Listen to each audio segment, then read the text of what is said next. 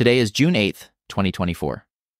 Let's dive into some new findings about platelet rich plasma, PRP, in aesthetic medicine from a study published in the Open Access Journal of Disease and Global Health. A team from the University of Central Florida, led by Dr. Tingting Zhang, investigated the clinical benefits and patient satisfaction related to PRP injections. This therapy uses the patient's own blood concentrating platelets and growth factors to boost tissue healing and regeneration. The study involved 15 patients from medical spas and clinics in Orlando, Florida. These patients received PRP treatments for facial texture improvements, hair quality, and conditions like alopecia and acne scars.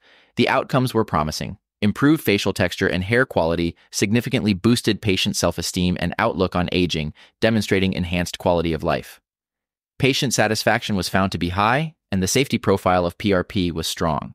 These results suggest PRP is a reliable therapeutic approach for various aesthetic concerns, presenting a viable option for those seeking non surgical treatments.